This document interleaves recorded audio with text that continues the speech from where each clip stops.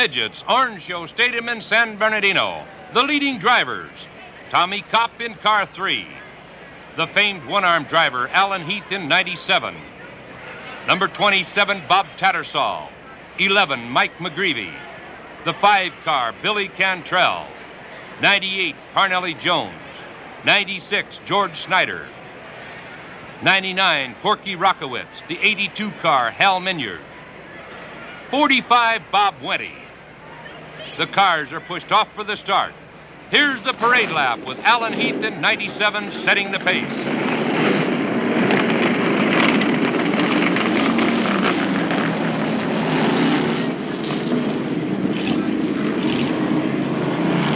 The green flag is down, and there we go.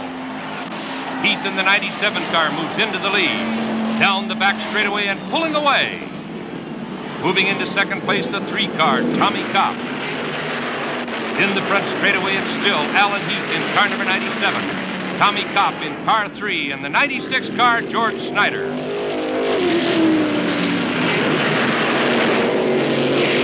Here's your first five positions. Your leader, 97, Alan Heath. Three, Tommy Kopp. 96, George Snyder. 21, Grimm. And 11, Mike McGreevy. Into turn one, down tight on the inside. Here comes Parnelli Jones, picking off two cars and taking over third place.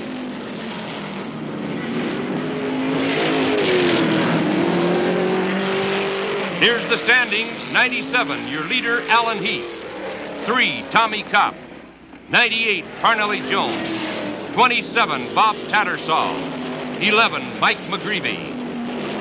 Parnelli Jones in car number 98 has moved up to second place and is challenging the leader, Alan Heath, in car number 97.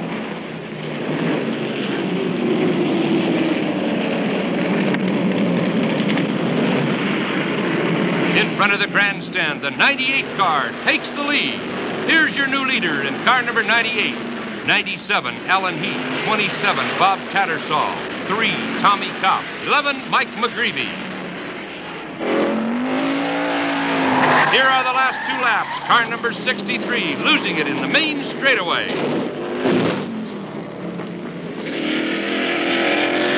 Here comes Parnelli Jones in the 98 car to take the checkered flag in the midgets at San Bernardino, California. Your winner, car number 98, the Agajanian Special, Parnelli Jones.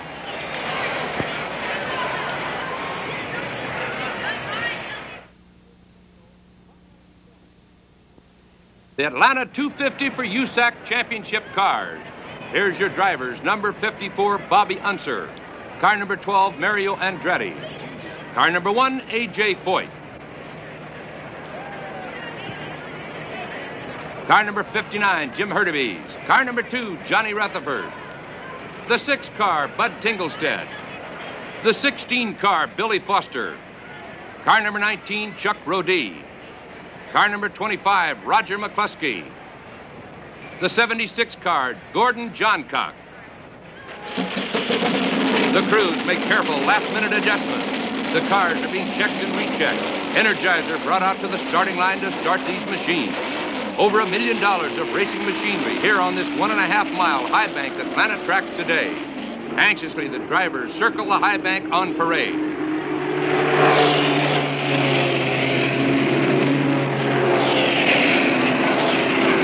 Out of turn four, down the front straightaway. There's the green flag, and we're underway. In car number one, A.J. Foyt jumps into the lead. Billy Foster in car number 16 on the outside, running second. Out of turn number two, it's the number one car. It's Foyt, followed by Foster in car number 16.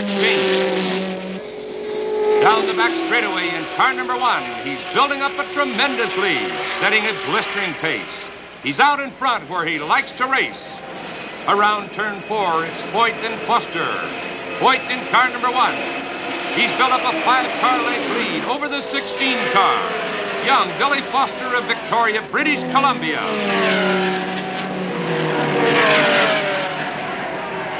Bobby Unser has moved out of the pack and into third place. Foyt and Foster running well out in front. All of the big car drivers are settling into their grooves for the 250-mile long race here today.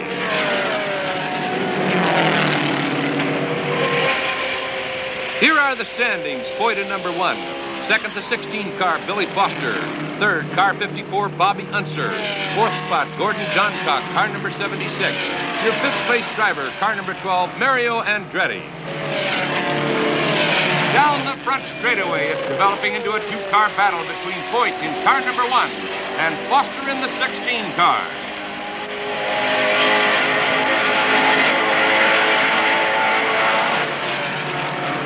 Car builder A.J. Watson checks his box on Johnny Rutherford in the number two car.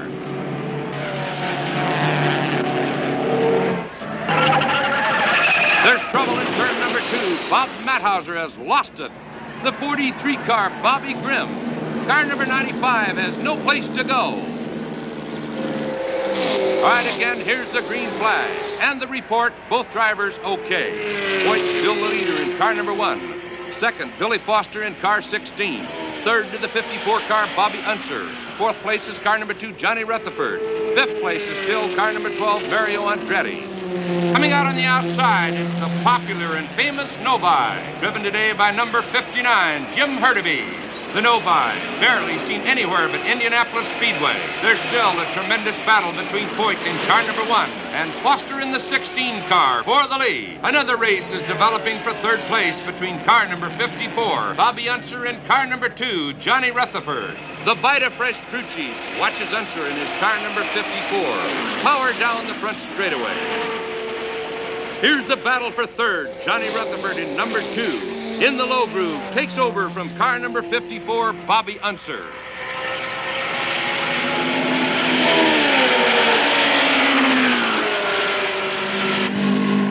Here's the new standing. Still leading A.J. Foyt. Car 16, Billy Foster running second.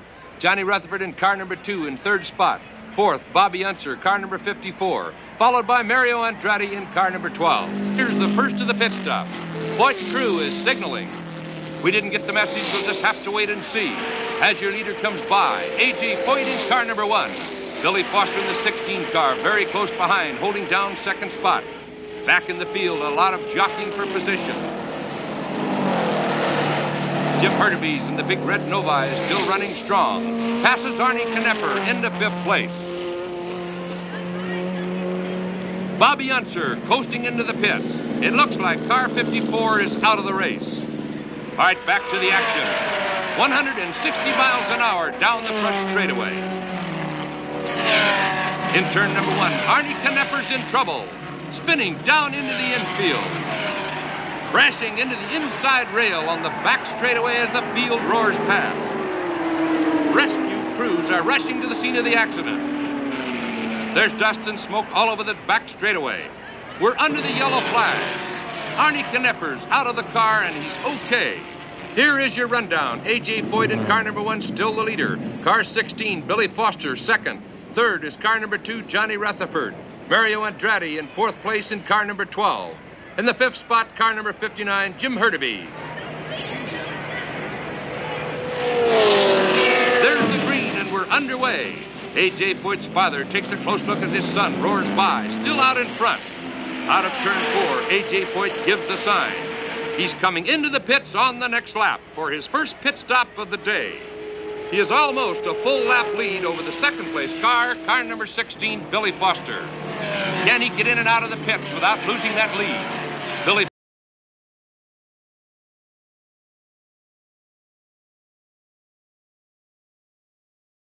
has led from the very beginning. And in just a moment, his crew will be swarming all over the car. Here comes Foster out of the back straightaway into turn four. Pouring it on, trying to get that line before Foyt can get out of the pits.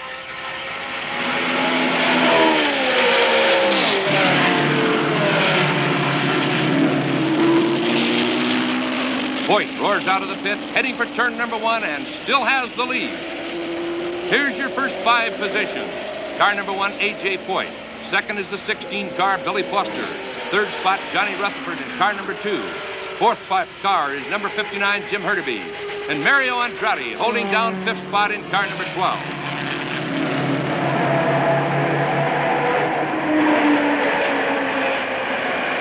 Johnny Rutherford in car number two is challenging the second place car, Billy Foster, as they head into turn number three. Out of the third turn, it's Rutherford into second place, followed by Billy Foster in the 16 car.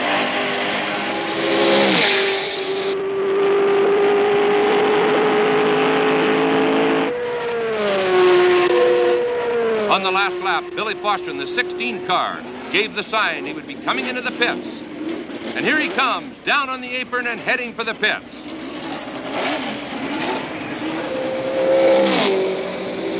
Here's the rundown. A.J. Foyt still the leader in car number one. Second place, Johnny Rutherford in car number two. Billy Foster in car number 16 holding third. Fourth, number 59, Hurtubise. And number 12, Andretti. Car number 16, Billy Foster, is back out of the pits and pouring it on. Over on the back straightaway, A.J. Foyt moving through traffic, starting to lap cars. Second place, Johnny Rutherford in car number two is in there tight, being passed. Mario Andretti, holding down fifth spot in car number 12, is also being lapped by the leader. A tremendous pace by A.J. Foyt all during the day, trying to put more distance between himself and the rest of the pack. Johnny Rutherford in car number two is in there tight. Foyt cuts the low groove on this high bank track, taking the short way around as he comes down to the last 50 laps of this race. Tire wear, mechanical failure, metal fatigue, driver exhaustion, anything can happen. The pit crews are pacing up and down. It's a battle of nerves, waiting to see who will take home the money. Foyt's pit crew give the sign for one more pit stop. Into the wall, it's A.J. Foyt, the leader. A roadster cuts into the infield to avoid hitting Foyt's disabled car. The driver fights his way out of the number one car as it catches fire. Foyt rolls on the ground. The fire equipment is there immediately. The ambulance is rolling. The yellow flag is out. Foyt is up and okay. The fire is out.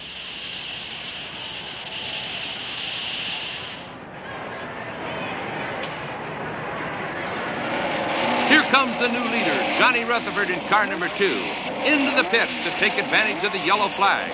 Five of the cars coming into the pits. This will be the final pit stop for all cars as we come down to the final laps. Car number 12, Mario Andretti, is trying to go all the way. Here comes Rutherford out of the pits in car number two.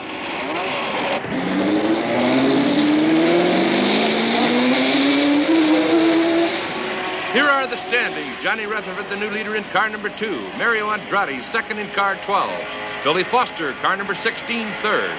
Fourth, car number 59, Jim Hurtubise. Followed by car number 19, Chuck Rodee. Johnny Rutherford in car number two roars down the straightaway. Watching very closely by his car builder, A.J. Watson.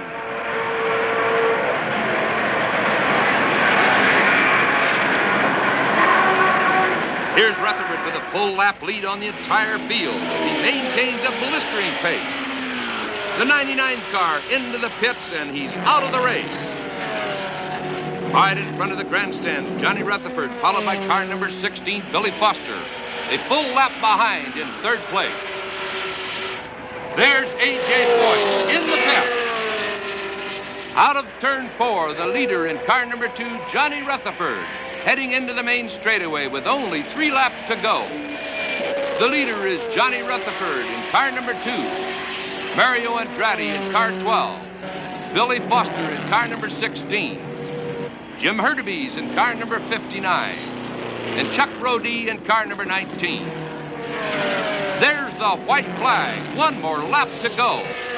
We'll follow the leader all the way around. Johnny Rutherford in car number two, driving very smoothly out of turn four and down the main straightaway. There's the checkered flag.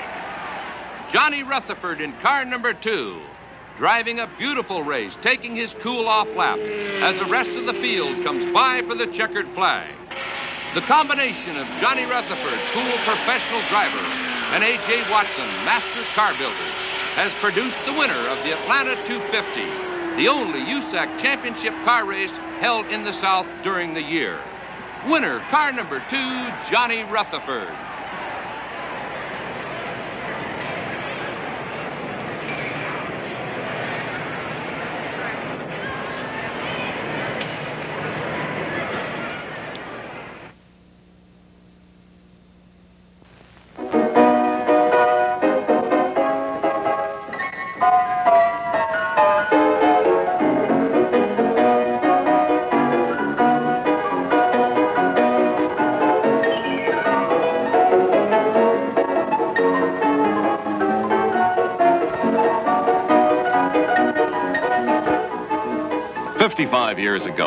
Indianapolis 500 mile race ushered in a new age of speed. The automobile was still a big joke, and the slogan, Get a Horse, was applied to unlucky motorists who experienced frequent mechanical failures.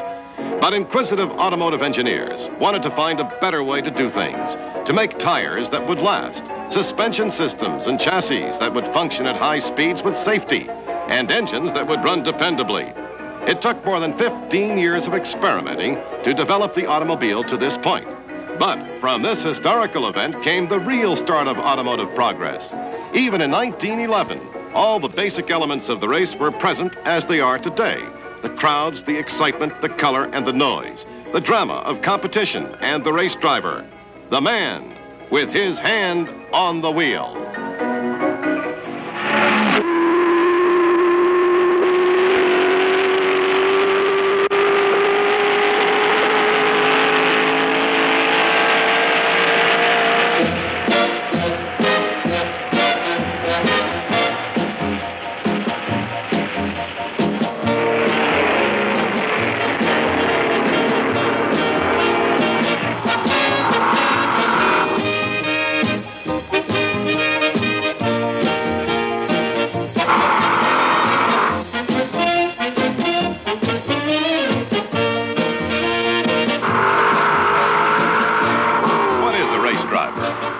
Sets him apart from other people?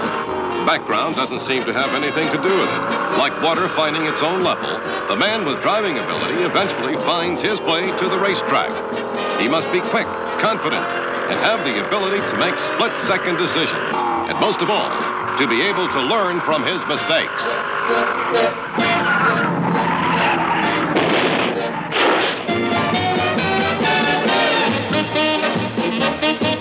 From the Grand Prix circuit to the drag strip, this very special breed of cats demonstrate their ability to make all kinds of fast machinery perform.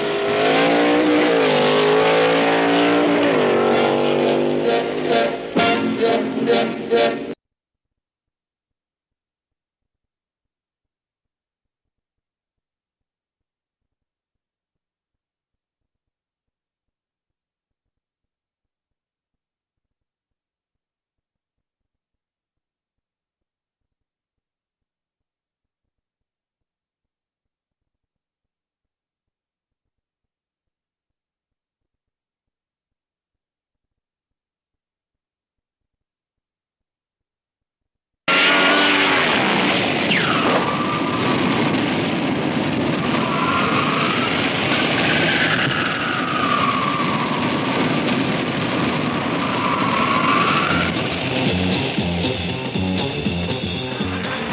Indianapolis bound drivers usually begin their training on small town Michigan sprint car tracks.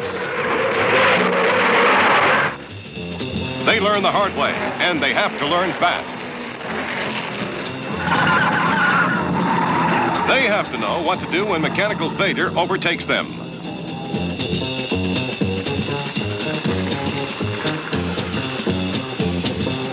Or how to take evasive action when others make a mistake.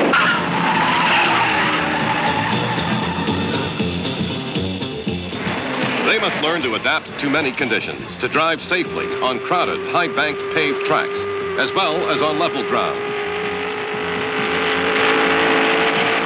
To give way when it's sensible, to charge when conditions are just right, and to never drive faster than their ability will allow. Driving on a dirt surface requires a technique all its own. Contact of the wheels with the track can be described as loose, and the driver must learn how to slip his way around the course in what is called a controlled skid. Don Branson, driving number four, the Wind Special, is an expert on this kind of track. This race, the Golden State 100, held at the Sacramento, California State Fairgrounds, is 100 laps, one mile per lap.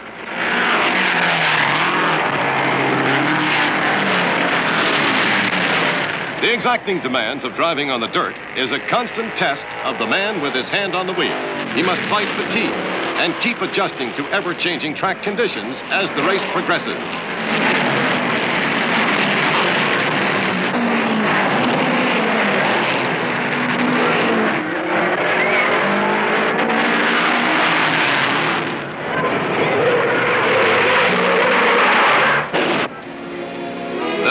Miscalculation in timing is enough to kill all hope of winning. A spin or a pit stop is out of the question. Driver and equipment must be ready to go the total distance without faltering.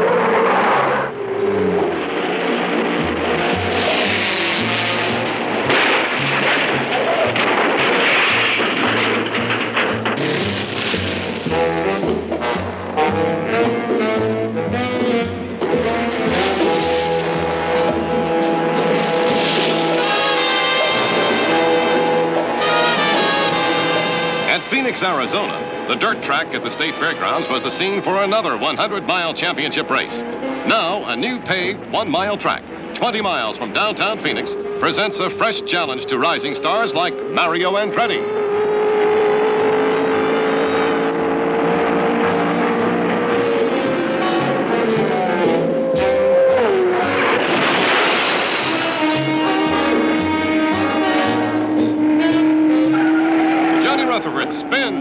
Taking evasive action. And Bobby Unser is alive because of quick thinking. He ducked as his car went through the railing.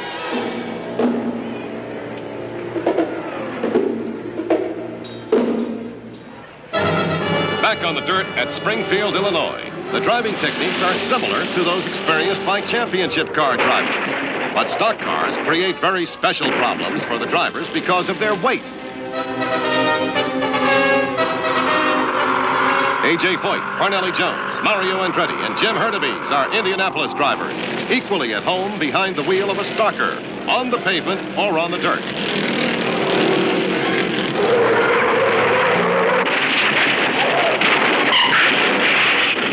Here, a spin more frequently becomes a flip. But roll bar system, shoulder harness, and helmets are all features which help the driver climb out, ready to go racing another day.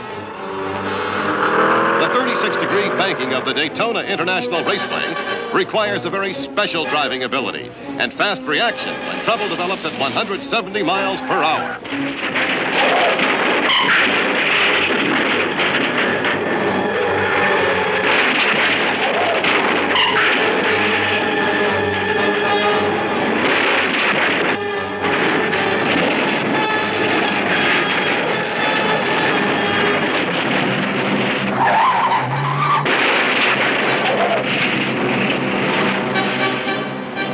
And yet, the inaugural 500 mile race held on this track in 1959 was run without the caution flag being displayed even once.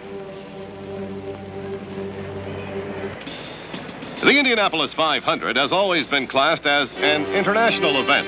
But from 1916 until 1965, the European competition was almost non existent. Now, Graham Hill of London, England, takes his first look at the famous oval.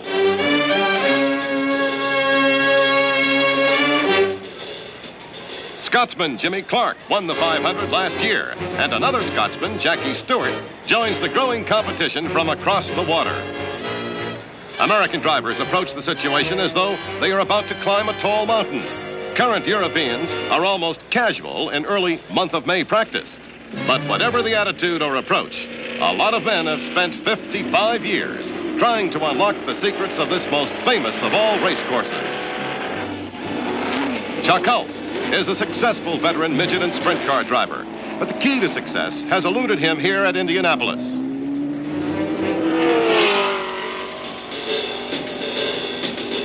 Suddenly, it's as though he had unlocked a magic door. His practice speeds climb higher and higher to near record performance.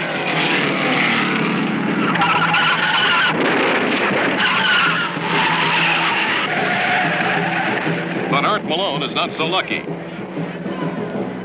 A drag strip champion still trying to solve the riddle of Indianapolis.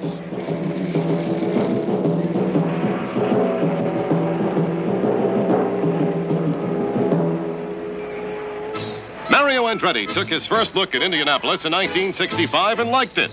In fact, he liked the whole USAC circuit. The Italian-born rookie took third at Indianapolis, went on to win the national championship.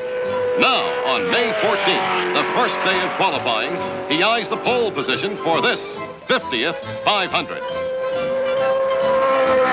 His speed climbs to a new one-lap high of 166.328. The four-lap average is 165.899. an all-time record at Indianapolis for qualification.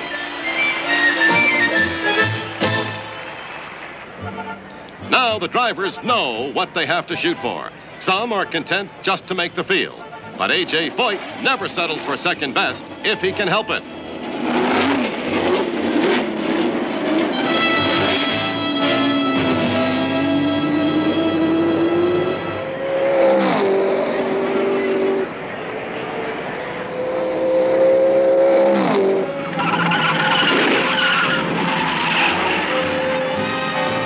Just an inch too close to the wall, and a jolting crash is the result. Foyt still has a long way to go to make this race.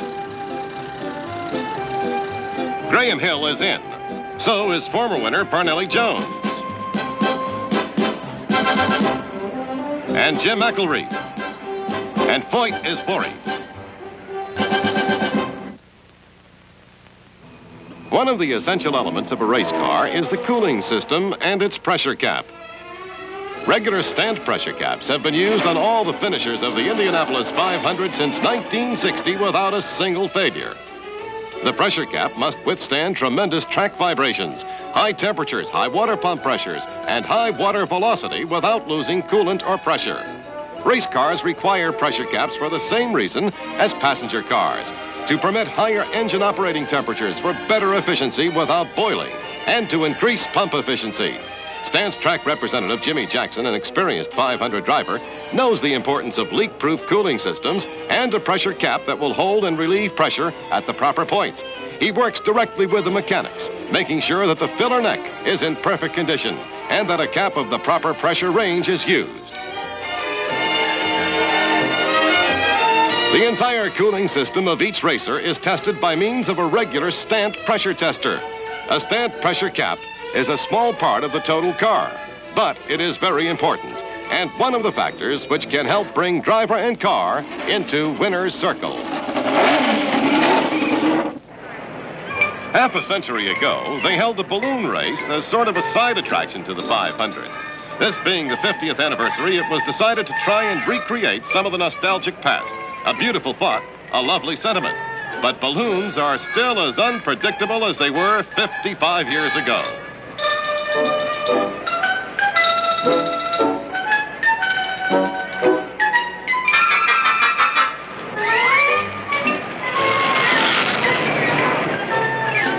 Scratch one outhouse. Ground Superintendent Clarence Cagle now has one more big headache. Meanwhile, back on the track, Bob Veith is having trouble with his Batmobile A fuel line ruptures. The back of his car becomes a flaming torch. He guides the car around the infield, standing up, while fire trucks catch up and put out the fire before he comes to a stop.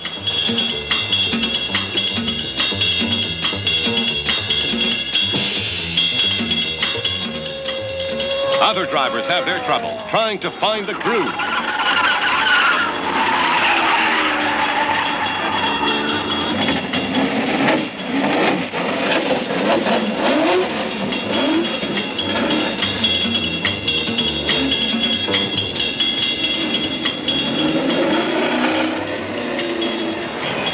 It looks so easy for Andretti. What's wrong?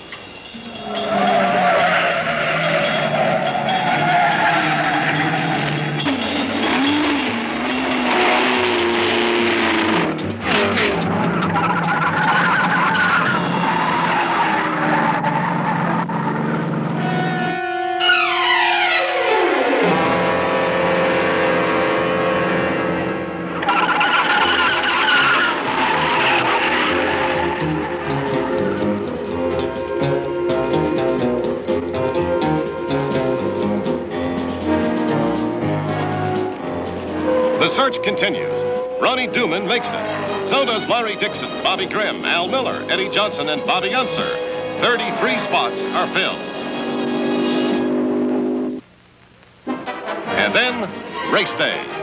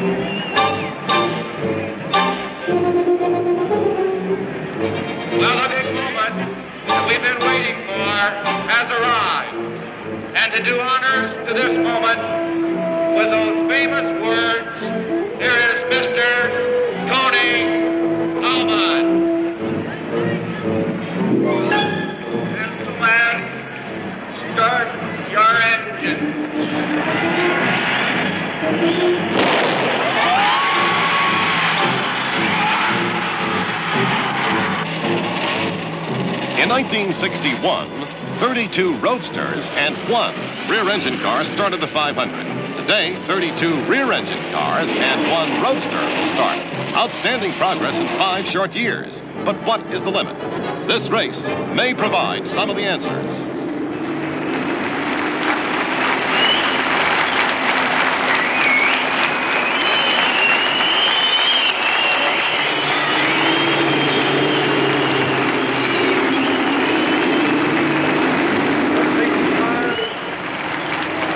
Hold on. There's a green flag is up.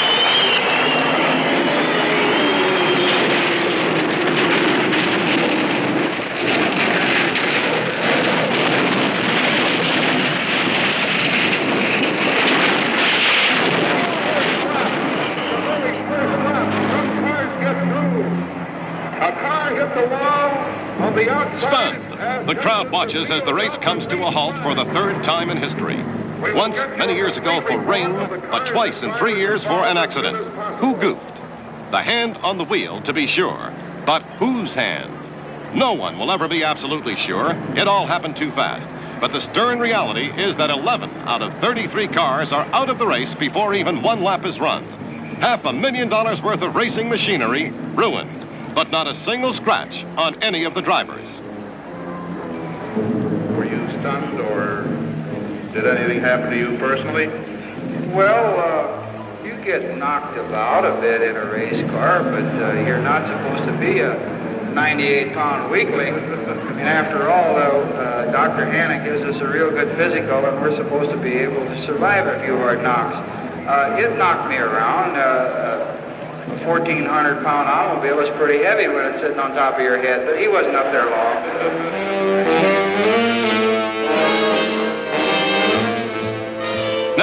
Gets underway again, slowly, under the caution flag.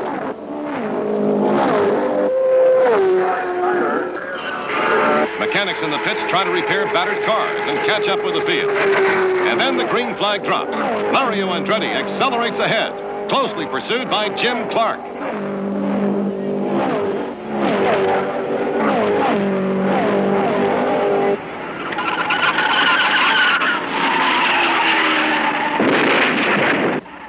It's Johnny Boyd in turn one.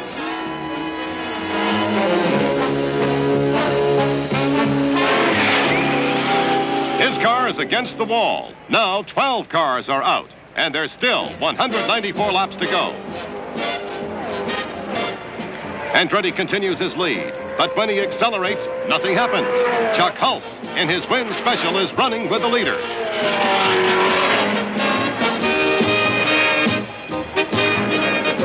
Next time around, Clark is in front. Andretti is three seconds back, and then everybody begins to get the message. Andretti's got big trouble. His engine is sick.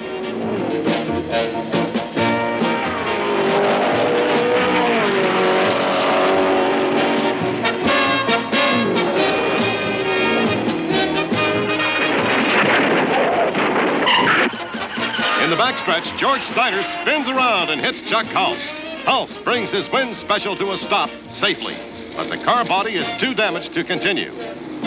The field is now reduced by two more cars for a total of 14. Then it's 15. Andretti gives up and pulls into the pits. His sick engine is through.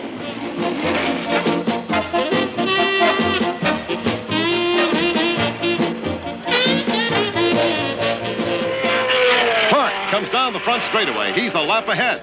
And Andretti climbs out. There is just no way for him to run this race.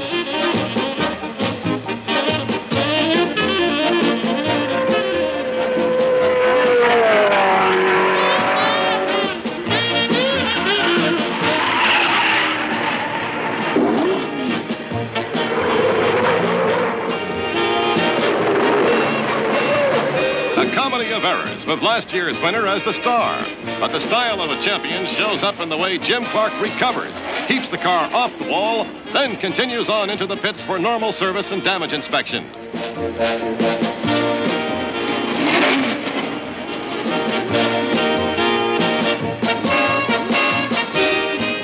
Lloyd Ruby moves through the turns and through the straightaway before Clark can get back on the track.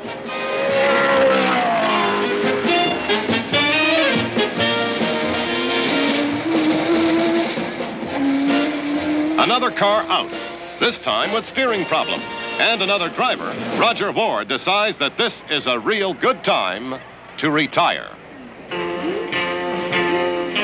Lloyd Ruby sacrifices his lead over Jim Clark to come in for service. Clark is back in front, but he can't seem to stay there.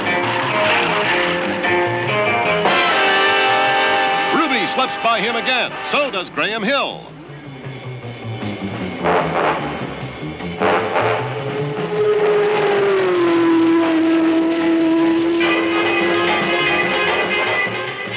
Parnelli Jones joins the list of spectator drivers. He's got a bad wheel bearing.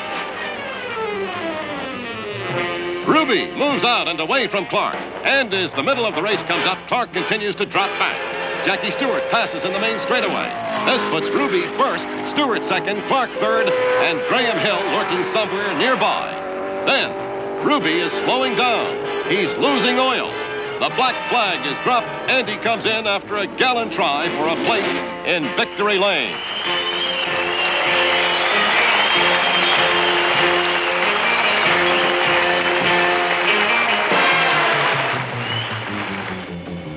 Rookie Scotsman, Jackie Stewart, inherits first place. Clark is second.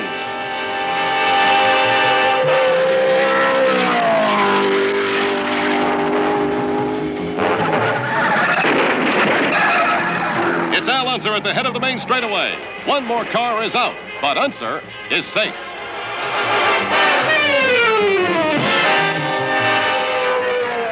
Stewart leads. Graham Hill has passed Clark for second. And now it begins to look as if this is a race that no one wants to win. Stewart, a rookie driver, leading in the 192nd lap of the race, slows down. His oil pressure is gone, and the engine quits.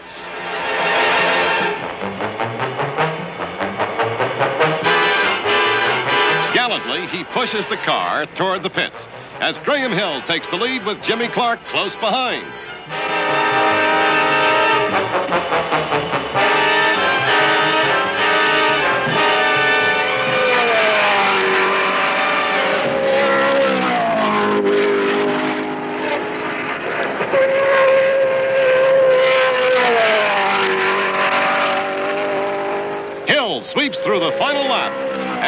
The checkered flag. Clark is a sure second, and Jim McElreath is third.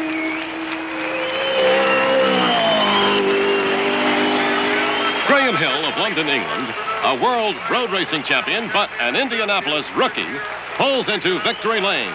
The first such victory since 1927. How did he win? Well, circumstances played a part to be sure. But being in the right place at the right time is a part of the strategy a champion uses to win a race. That and having a sure, steady hand on the wheel.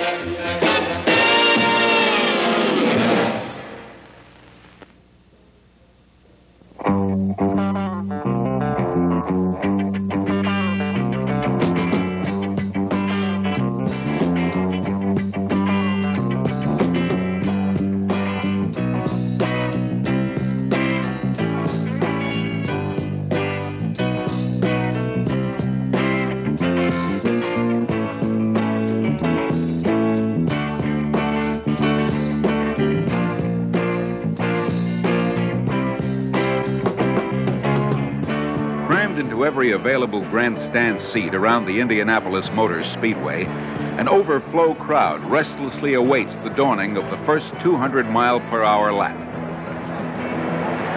Is 1971 pole sitter Peter Rutz of the Redondo Beach, and the green flag of If Indy's 200 mile per hour barrier is to be smashed, it will take someone with the sensitive skills and expertise of Gulf McLaren driver Peter Revson. In the 1972 500 mile race, he finished second. As a rookie in 1969, Revson lined up 33rd, then pushed through the pack to place fifth. Revson knows Indianapolis. So does Johnny Rutherford, his Gulf McLaren teammate.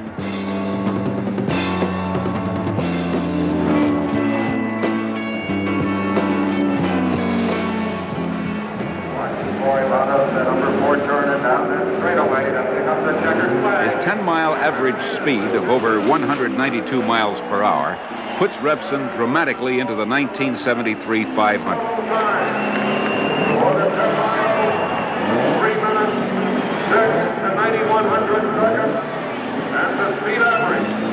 He'll start 10th. But this year's really blood-boiling speeds are yet to come, as Revson knows. Briefly, a gloomy shower blunts further qualification attempts.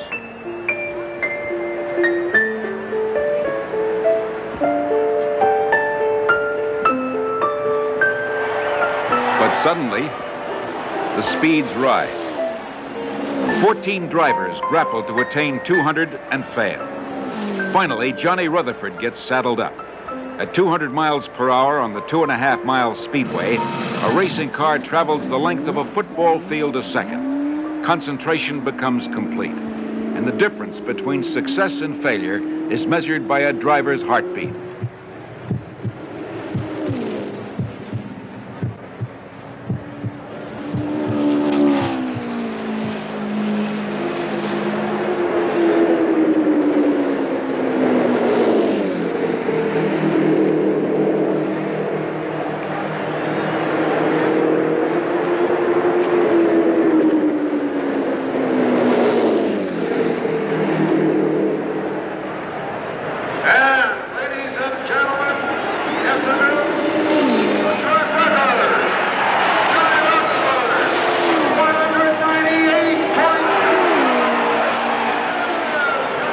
To hit 200, Rutherford needs a lap time of 45 seconds on the button. His opening lap speed of 198 and a half misses it. Then his second drops off to 197.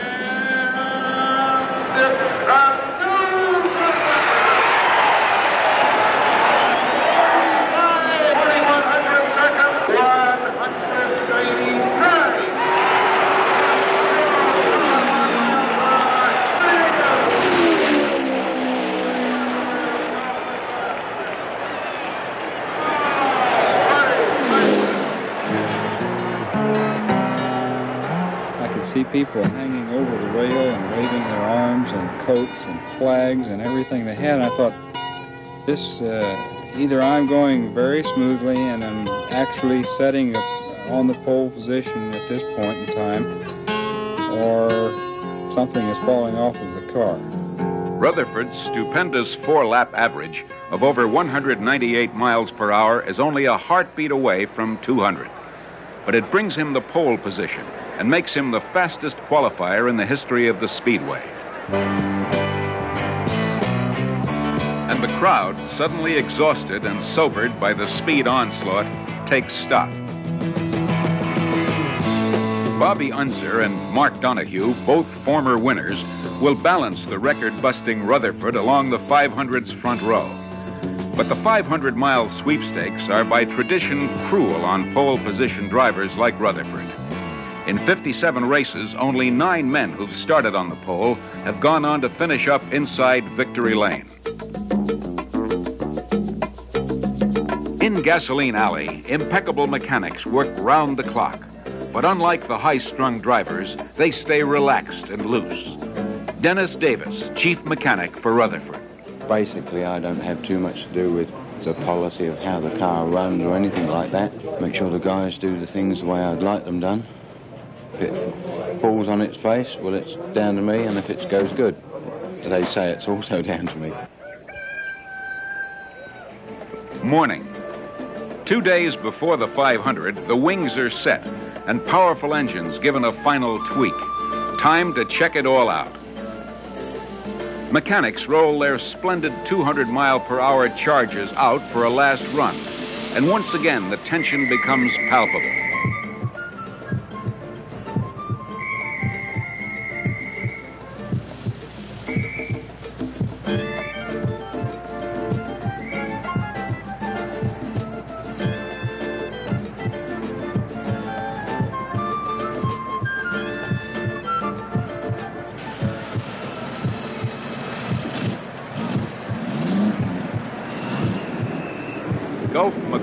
Drivers Rutherford and then Revson go to work.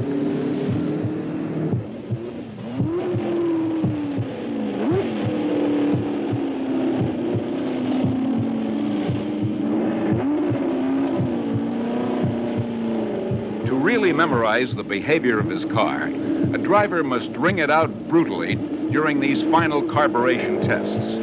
And now, with the 500 barely two days off, Peter Revson shoves his foot into it.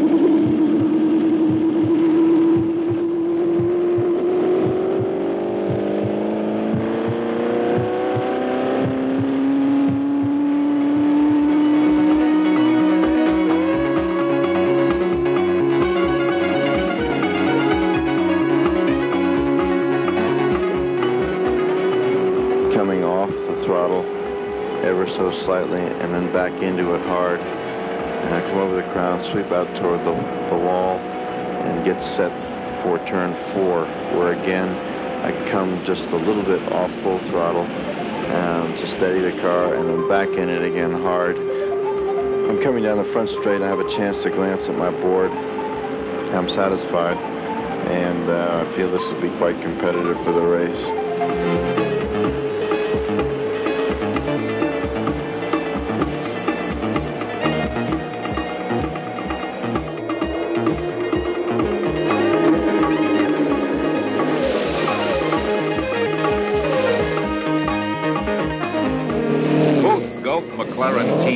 Cars bristle with technological sophistication. But to coax optimum performance and speed from the design, vigorous checking and rechecking is vital. Most important, a driver must be able to communicate with his mechanics, to exhort and encourage them just as they do him. Gulf's racing cars have been called laboratories on wheels because the development and improvement of petroleum products has always been an important objective of Gulf's motorsport program. 1973 is Johnny Rutherford's first on the Gulf McLaren team. He brings with him determination, dedication, and rock rigid confidence in himself, gleaned from a decade on the hard boiled dirt tracks. 1973 is Rutherford's 10th 500 and 15th anniversary as a race driver.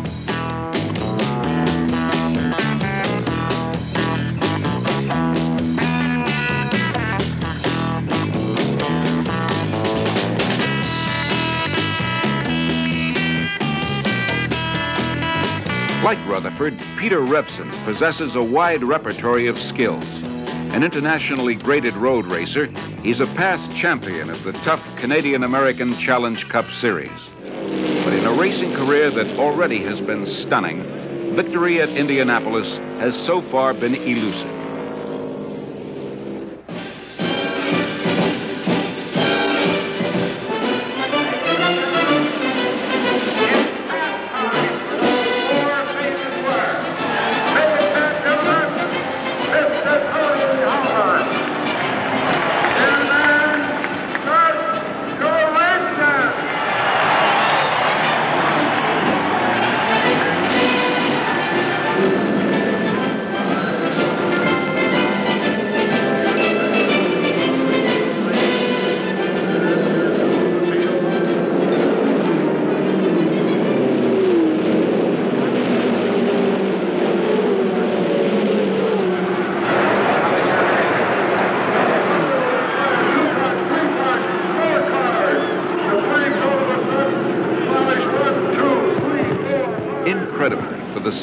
Time in 10 years and fourth year in a row, auto racing's million dollar marathon is ruptured by violence.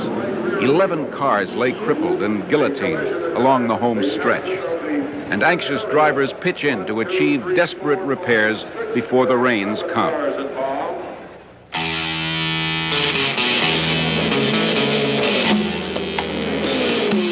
Two days, one aborted start, and several rain squalls later, the pack regroups.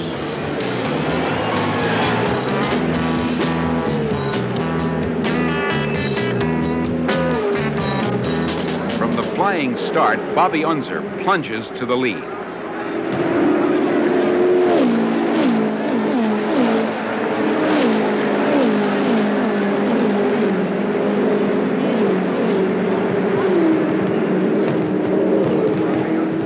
Off turn three, Unser's opening lap burst is a record setting 177 miles per hour.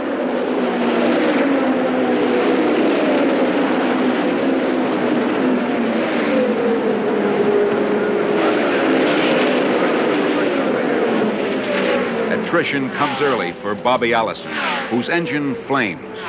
Meanwhile, Rutherford, making a disciplined bid, bides his time in fourth.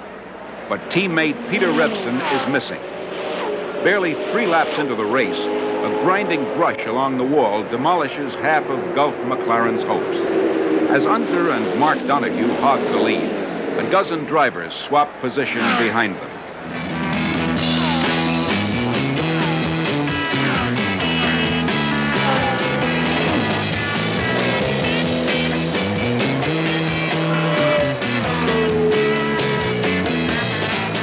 Wedged tightly together in the corner, Bill Vukovich and Gordon Johncock clang wheels at nearly 180 miles per hour. At 60 miles, Unser stops.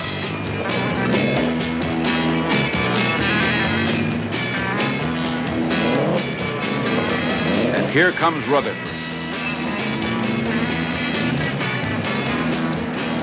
Well coordinated mechanics pounce under and over the car, accomplishing the impossible in seconds.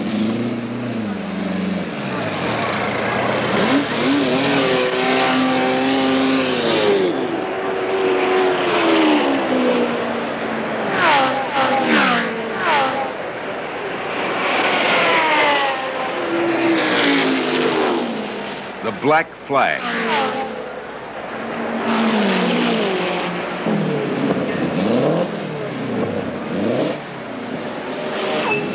To sop up the nagging fuel leak, six laps go down the drain. Rutherford falls to the cellar.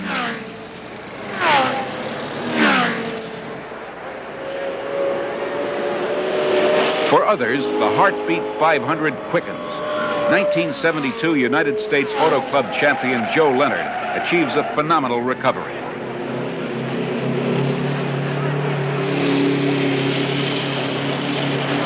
But a few heartbeats later, at the head of the fourth turn, Swede Savage's fuel swollen car cannot recover.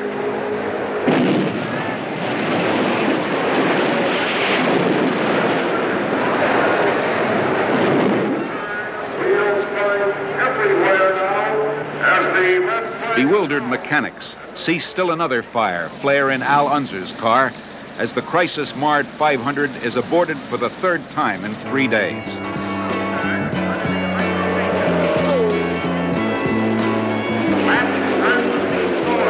But an hour and 15 minutes later, with 300 miles to go and another storm front moving in, the war resumes with Unser taking temporary command.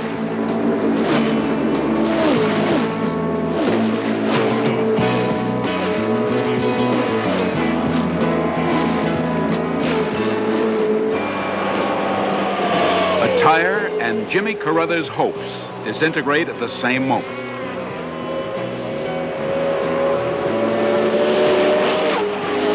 Rutherford, regaining his rhythm, catapults himself back inside the top 10.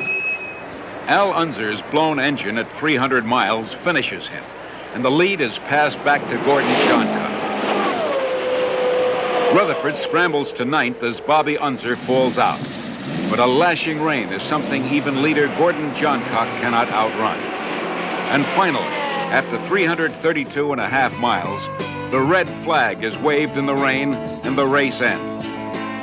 But what is winner Gordon Johncock thinking now? About the rain? About the glory? Or is he, like the other rain soaked survivors of the 57th Indianapolis, distinctly relieved that the 200 mile per hour heartbeats have eased?